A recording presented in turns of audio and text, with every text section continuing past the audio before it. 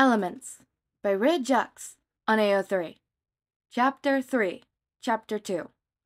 Snappygram. Midori 715. Our sister band is cheering us on the showcase. Image of Midoriya with Uraraka, Ashi, Ashido, and Jiro, peace signing behind him. Comments. My sweet baby girls. Are you dating, lol? Sin. Way to make me feel worse about not being able to go. Midori 715. Warming up, brushing off the showcase jitters. At Red XVI at Shock Z. Videos of Kirishima and Kaminari doing vocal exercises in their dressing room. Comments. Help. Oh my god, I don't care if it's just warming up. They've got vocals of pure angel. How does it feel being surrounded by hot men? Midori 715. Our leader is too fancy for this world. At Toe Show. Image of Todoroki adjusting his outfit, looking into the mirror. Comments. H. Why can't I be there? Frowny face. I've got this live stream up and ready. Can't wait to see you guys. And me. My crops. Midori 715. Look who's also here. Heart. Image of Midoriya with Inko, both peace signing at the camera. Comments. Mama and baby, you're both so cute, Heart. Oh wow, look, it's my future mother-in-law. You look exactly like her. Midori 715. Left your phone. Image of Bakugo holding the camera to his face as he eats a protein bar. Comments. Oh my god. AMA with Bakugo, please. I never knew I wanted Bakugo creeping into account so badly until now. What? What? What? What? Midori 715. This is great. Image from afar through window of Midoriya speaking with an interviewer. Bakugo's reflection can faintly be seen in the glass. He is still eating the protein bar. Comments. I can't believe this. Ah. Keep his phone forever, okay? Help. I can't stop laughing. Midori 715. Video of Bakugo. Bakugo. To answer everyone's questions, Deku is indeed a cuddler. Comments. Oh, what the fuck? Oh my god, oh my god, oh my god, oh my god. I'm actually crying. Weren't you talking about folder before? Wh- what do you think this is now? We'd like to personally thank you all for coming out to the showcase tonight. Shoto smiled, looking to the bandmates lined up at his side. And also thank you to our senpai group for giving us support tonight. He gestured for the girls to come onto stage. They walked on, waving to the audience. Mina stepped up to borrow the microphone. Take care of our little brothers for us, okay? The crowd cheered, and she handed it back. Eijiro raised a fist. Did you all have fun? He nearly yelled into the microphone, and excited screams filled the venue. What was that? I couldn't hear you over my yelling. The cheers grew louder, and he laughed. Look forward to all of our other stuff, all right? Denki winked. We got a lot of stuff planned out, and it's gonna be awesome. Even more cheering. Seriously, thank you all for your support. Izuku smiled. The jitters he felt before the showcase were long since gone, and now he never wanted to leave the stage. If you haven't seen it yet, the PV for four seasons has already been released, so we hope you enjoy it. Kacchan was the last to speak. I finally have Snappygram, so you all better follow it. It's Midori715. Catch you later. The crowd laughed as Izuku gave him a confused stare. Before he could retort, Shoto had them all bow and leave the stage. The feelings from post showcase were enough to make him forget what he was even confused about. Getting back to their dressing room, he couldn't help but cheer and holler. The adrenaline rush from the entire showcase was too much for them to contain. Yelling, laughing, hugging. In Izuku's case, there was some crying, resulting in Kacchan ruffling his hair and calling him a crybaby. But Kacchan was laughing too. We should celebrate! Grab a bite somewhere! Denki suggested once they all finally calmed down and changed. Eijiro snapped his fingers. I'm really craving some okonomiyaki. Midori715. Post showcase meal. Yummy. Image of okonomiyaki frying. Comments. I was at the showcase. Afterwards, I went home and ordered your single, Heart. Have you seen the damage Bakun has done? My mouth is watering. After the satisfying meal, the group started piling into the van. Patting his pockets, Izuku stopped himself from entering. I left my phone inside. Be right back. As he hurried away, Kacchan called after him. You really gotta stop leaving that thing in random places. Space case. Izuku checked the table they had used. He checked under and around it. It wasn't anywhere. He used it earlier, so where did he put it? Excuse me? A soft voice sounded from behind Izuku, and he spun in shock. A girl wearing a high school uniform shyly held his phone out to him. This is yours, right? You dropped it by my table on your way out? By the time I noticed, you already came back in. Relief lighted his entire being as he took it. Thank you so much. The girl smiled. Her smile seemed a little off, but Izuku pushed the feeling aside. I should thank you. I wanted to ask your autograph earlier, but I didn't want to bother you. My autograph? Excitement fluttered in his gut. At least, that's what he thought it was. Oh, uh, I was also at your showcase earlier. She reached into her bag and pulled out a notebook and pen. It's. it's no problem. Izuku took the notebook. Um, who do I make it out to? Himiko's fine. Himiko san. Izuku shakily signed his first autograph under her gaze and promptly handed it back. Every second that passed with her felt more and more off. The girl looked at it and let out a content sigh. Thank you. I'll treasure this for the rest of my life. She hugged the notebook. Her stare proned his soul in ways he didn't appreciate, but once again, flushed that feeling aside. That's flattering, thank you. He laughed, clutching his phone as though it was a lifeline. I look forward to seeing you in our future shows. Oh, I'll be in every single one. Izuku laughed again, regretting what he said, and left as quickly as possible. He scrambled into the van and sat there, pressuring himself against the seat as much as he could. What's up with you? Did something happen? Denki asked, unwrapping a piece of candy. I. Mm... Izuku took a moment to calm his heart, realizing just how much he was panicking in that girl's presence. Izuku should have furrowed his eyebrows in concern. I ran into a. a fan. Izuku couldn't stop trembling, staring at the black screen of his phone. She found my phone, then asked me for my autograph. What, dude? Denki straightened. You gave your autograph to a girl? Lucky. There's more to it than that, but I don't know. The darker haired boy shook his head.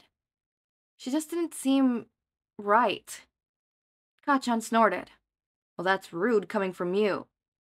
That's no, Kachan, I mean like. Izuku ruffled his own hair, trying to get the words out. I didn't feel safe the longer we talked. The silence covered the group before Eijiro suddenly laughed. Izuku, I love you, but that isn't very manly. Izuku groaned and rested his head against the window. Just forget it then. I'll bring this up to Aizawa. Don't worry. Shoto said. There are fans out there who can get a bit extreme. You're justified in feeling that way. He squeezed the shorter man's shoulder. Thanks, Sho.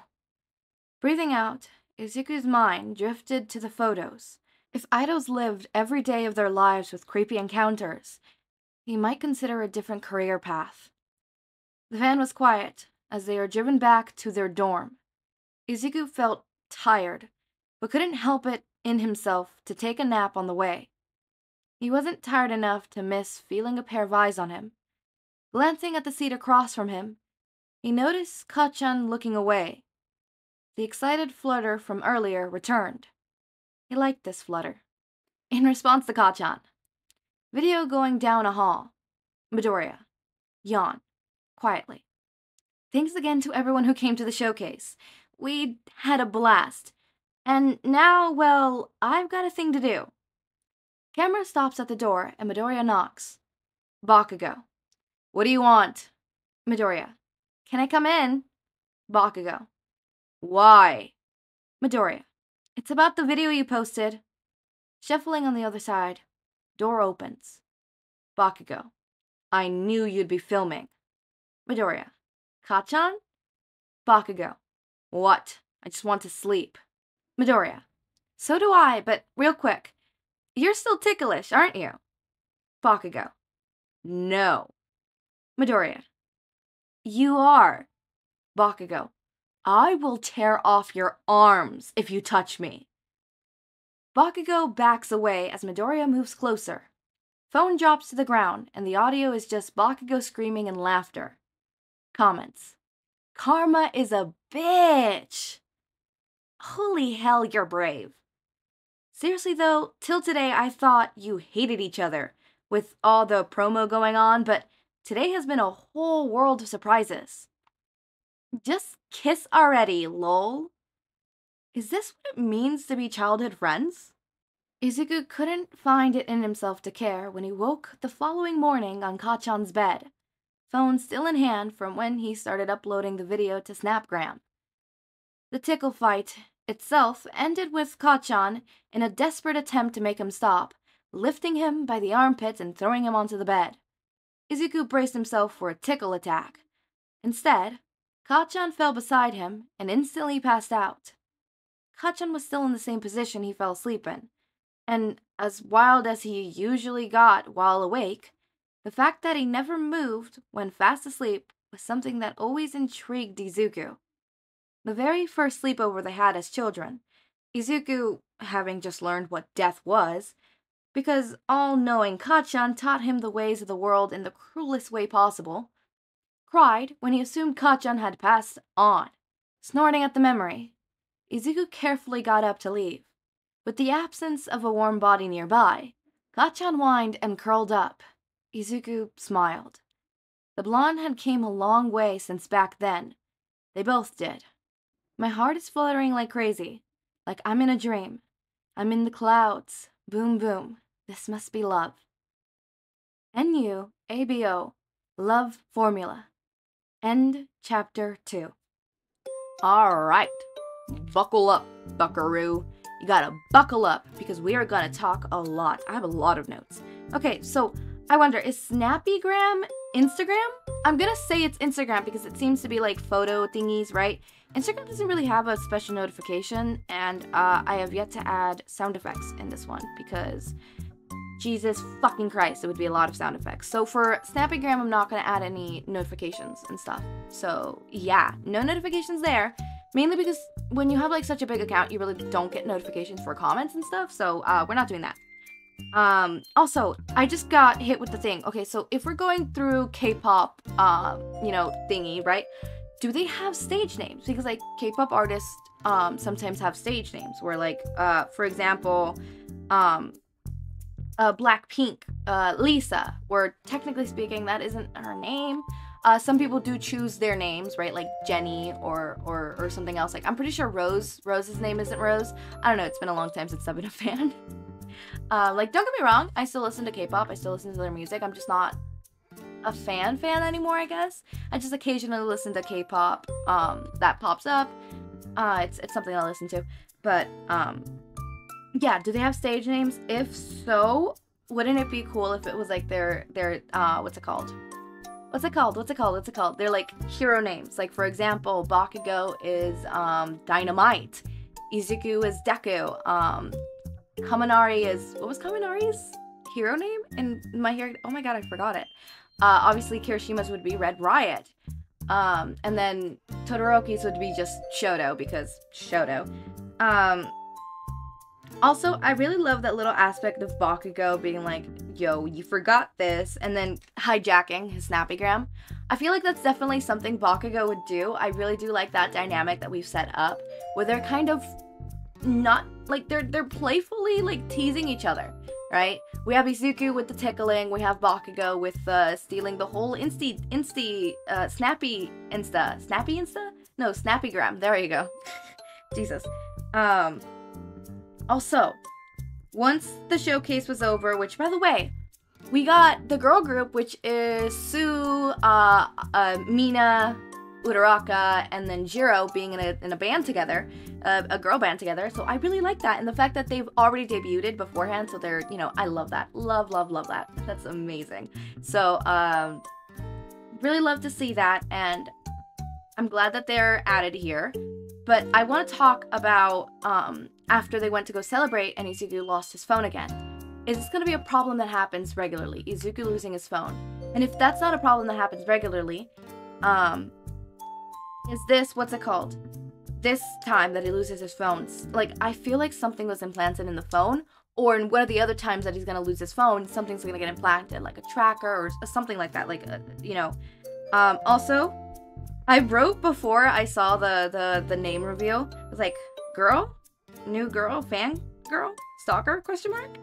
Um, and then obviously Izuku started feeling uncomfortable, so I wrote down gut feeling, right? Which is like sometimes when you feel like like you meet someone and you're like, I don't feel comfortable, something inside like like I know there's nothing that's telling me I should be wary or afraid or or whatever, but something inside me, deep inside me is telling me run. You should run. Your gut feeling is almost always correct. Um, I had a gut feeling about uh, a certain person in my life. Uh, we'll call them Voldemort when I first met them, I'm like, they're so sweet. They're so cool. Something's off though. Right? And and I, I ignored it and then um quarantine happened uh, and then we met up again and there was just a complete change. And like the gut feeling was even more predominant and I was like I'm just being, you know, I'm just overreacting.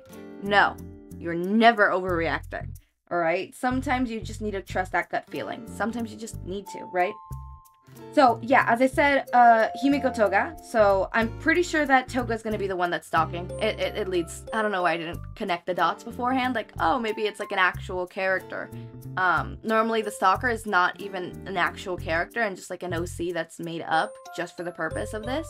So I really like that they use the use of Toga, right? That's going to be very interesting, and I could very much see that possibly happening. And with her quirk, it um, imposes a lot of things. Like, for example, she can even kidnap Izuku and pretend to be Izuku. Or, for example, if, you know, if. I'm pretty sure she's probably going to be stalking either Bakugo or Izuku. Probably Izuku. I feel like it's leaning towards more Izuku, right? And she could kidnap Katsuki uh, and pretend to be him, and Izuku's like, hold up, this isn't, this isn't my Kacchan. This isn't Kacchan. Um, which that in itself gave me idea for a fanfic, so I'm gonna probably use that, and that's gonna be super cool. Um, also, we got the first signs of romantic feelings from uh, the whole fluttering heart, and then the end scene where like the tickle thing, and then you know the the falling asleep and and waking up and and Kacchan's bed. That was very sweet. That was really cute. I want to talk about the end uh, the lyrics. So I feel like there's gonna be a lyrics at the end of every one, and if so, that's gonna be super cool and super nice to see every time. I'm not gonna sing, nope, but I am going to say it in a very poetic way. But um, yeah, I just wanted to say all that. That's all my notes for right now. Um, I'm very worried, and uh, I'm making my prediction of the kidnapping. Uh, I'm also making my prediction of the phone hijack, phone hijacking right? Whether it is his phone gets tapped into and uh, Toga can literally see all of his messages, all of his activity, uh, and tracking him, or, or, or, you know, his phone just gets tapped and hacked in some way, shape, or form. Either in this first time that, like, this, yeah, first, not first time, it's the second time that he leaves his phone around, but like this time that he leaves his phone around, or maybe one in the future. So that is my predictions. Putting them down, predictions. So as always, my raindrops, make sure to eat, sleep, drink water, take your meds. Have a wonderful day or night. Link to my Discord server and socials are down in the description. Subscribe to see more of my content, and thank you so much for watching.